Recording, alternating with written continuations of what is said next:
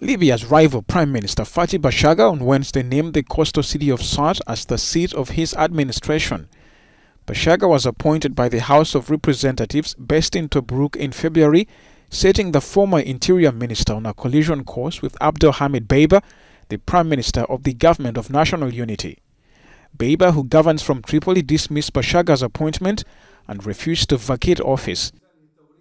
There were fears that rival army factions would battle for control of Tripoli.